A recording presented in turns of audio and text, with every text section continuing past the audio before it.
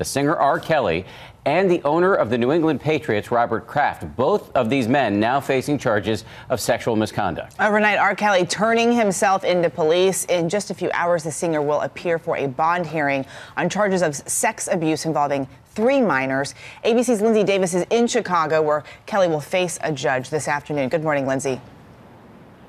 Good morning to you, R. Kelly, whose real name is Robert Kelly, last night he spent the first night behind bars, and later today, as you said, Eva, he's expected to appear in this courthouse right behind me for a bond hearing. His lawyer describes him as confident but devastated, adding he's been through this before.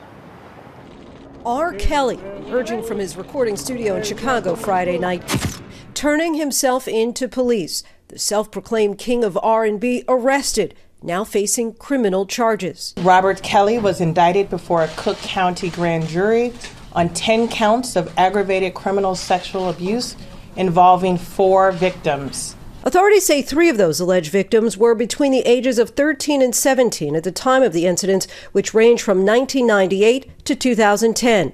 R. Kelly's defense attorney, Stephen Greenberg, asserts that this is a case of double jeopardy. One of the charges appears to involve the same alleged victim from the earlier case.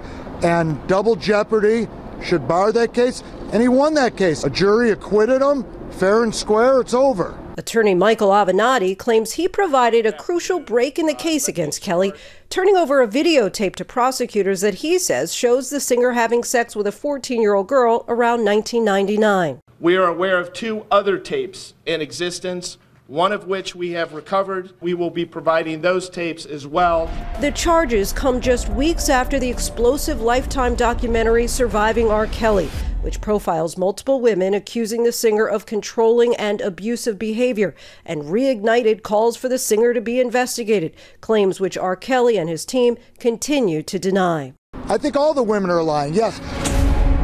We presented these women's stories after we did a lot of vetting and a lot of investigating, and we believed the women who came forward. Kelly has consistently denied any wrongdoing. His attorney sat down with us for an interview just last month. Does he deny ever having a sexual relationship with someone who was under the age of consent? Yes. He absolutely does. In 2008, the singer was acquitted of child pornography charges after a tape emerged reportedly showing sexual acts with a minor. He and the young woman allegedly involved denied they were the people in the video. Bounce, bounce, bounce, we sat down with his ex wife, Drea Kelly, last October, who claimed she was a victim of emotional, physical, and sexual abuse at the hands of R. Kelly. Do I believe that he should serve time in jail? I do. You would like to see him arrested? Yes. Sources tell ABC News that Kelly faces multiple investigations by various agencies, including the IRS, FBI, and Homeland Security investigations for various allegations with connections to child exploitation and possible sexual trafficking.